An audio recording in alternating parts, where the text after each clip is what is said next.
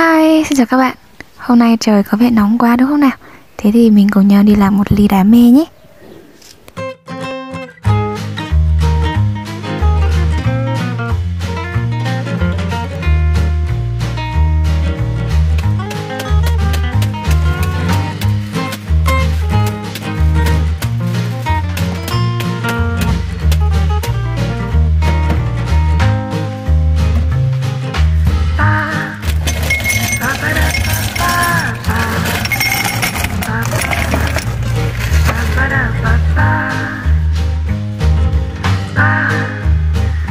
para para para ah, para ba.